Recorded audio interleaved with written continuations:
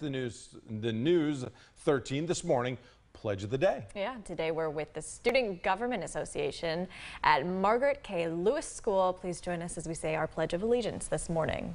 I pledge allegiance